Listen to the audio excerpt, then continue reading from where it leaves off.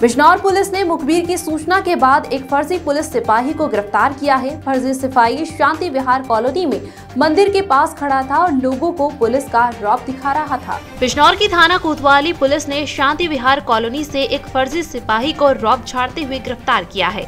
अभियुक्त का नाम शिवा कुमार है, जो ज्ञान विहार का रहने वाला है। आरोपी ने पूछताछ में बताया कि उसने फर्जी पहचान पत्र खुद ही बना लिया और लोगों पर रोब जमाने के लिए पुलिस की वर्दी पहनता है। अभियुक्त शांति विहार में किराए के कमरे में रहता है। किराए का मकान लेने और लोगों में पुलिस का रौब जमाने के लिए आरोपी ने पुलिस कांस्टेबल की वर्दी खरीद कर उसका फर्जी तरीके से दुरुपयोग किया। बहरहाल, पुलिस ने मामला दर्ज कर आरोपी को गिरफ़्तार कर लिया है और जाँच शुरू कर दी है।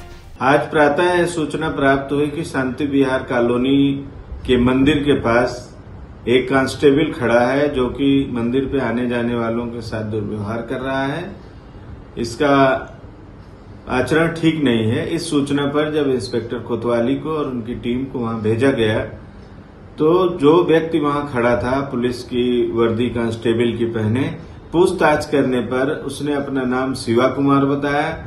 शांति विहार कॉलोनी में ही किराए का कमरा लेके इस समय रहता है वो।